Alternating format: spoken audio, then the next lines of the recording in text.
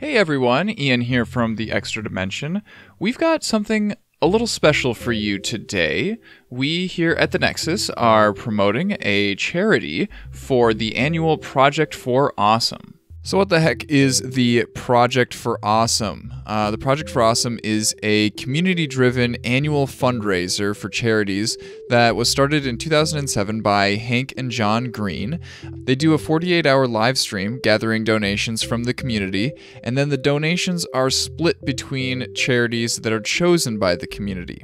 So, how does the community choose?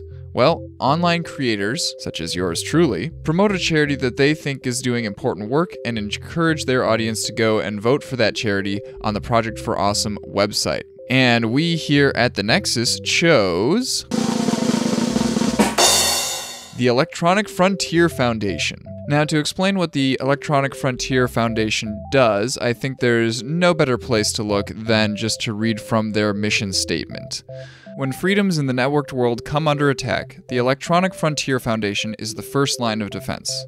EFF broke new ground when it was founded in 1990, well before the internet was on most people's radar, and continues to confront cutting edge issues defending free speech, privacy, innovation, and consumer rights today. From the beginning, EFF has championed the public interest in every critical battle affecting digital rights. EFF fights for freedom primarily in the courts, bringing and defending lawsuits even when that means taking on the US government or large corporations. By mobilizing more than 50,000 concerned citizens through our Action Center, EFF beats back bad legislation. In addition to advising policymakers, EFF educates the press and public. As we were discussing which charity we wanted to support, all of the Nexus hosts were on board with choosing the EFF. Brian Mitchell summarizes our thoughts here really well. The Electronic Frontier Foundation is one of the best examples that I can think of of an organization that continuously fights for the user. They center their goals around freedom of speech, privacy, creativity and innovation, transparency, international, and security. They've helped create tools like HTTPS Everywhere and the Let's Encrypt certbot, as well as taken issues to court against the federal government, the FCC, and the world's largest entertainment and electronics companies. The EFF website is quite extensive and is filled with guides, news, and other posts on all of the topics that they support.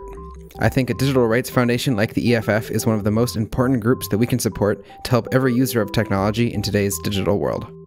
Some recent highlights of the EFF's career. Uh, they turned 30 this last year in 2020.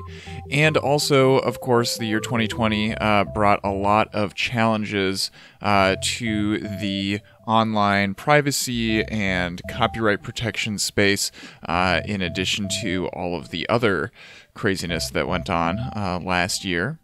The EFF fought against government use of surveillance technologies uh, to track down protesters. They opposed the sharing of health data with law enforcement agencies. They cautioned against relying on app based COVID tracking solutions as opposed to uh, live interview based. And just before the pandemic started, they were part of a coalition that helped to save the dot .org top-level domain from falling into the hands of private equity interests. So, calls to action. What do I want you to do? Uh, the Project for Awesome live stream event uh, happens this weekend, February 12th through 14th. Uh, that's noon February 12th to noon of February 14th Eastern Time. You can tune in there for uh, a lot of fun stuff. All donations to the Project for Awesome will be distributed to different charities that the community votes on. So, also while you're there, uh, definitely go and vote for the Electronic Frontier Foundation. And if you want to join the EFF directly, they, uh, they of course accept donations from individuals.